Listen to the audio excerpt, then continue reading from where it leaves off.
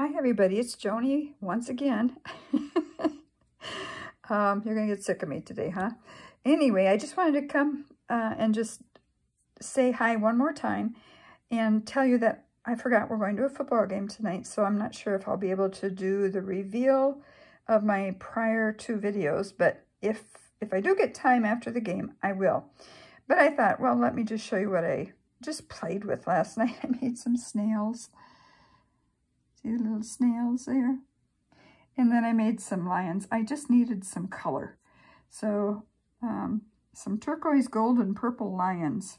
There's a little color there, right? And then I just made one, one cup of coffee for a little necklace or for something. I was just playing. Anyway, so at least I give you some a little something to look at here. But um, off to the ball game. God bless you all. We'll see you soon.